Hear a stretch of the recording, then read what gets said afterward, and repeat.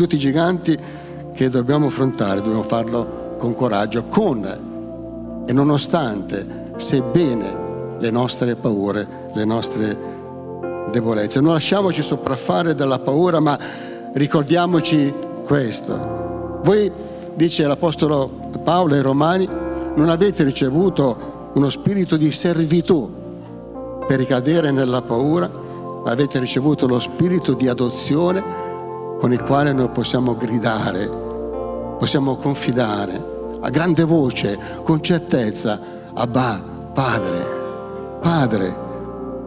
Forse avrete sentito dire questa frase, noi siamo quello che diciamo, noi siamo quello che pensiamo. Se noi pensiamo di non farcela, non, non ce la faremo. E questo umanamente è anche vero, umanamente, ma per noi in modo particolare.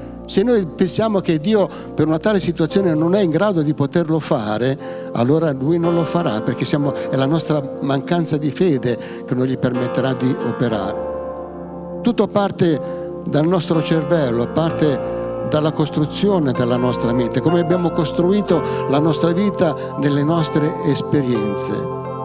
Noi siamo quello che pensiamo. Dio è quello che noi pensiamo, quello che gli permettiamo di essere nella nostra vita. Potremmo anche conoscere la parola di Dio a memoria, potremmo essere consacrati, potremmo essere assidui frequentatori di chiese, della chiesa, suonare, cantare, predicare, essere pastori, tutte cose buone, ci aiutano ad avere una qualità di vita spirituale migliore.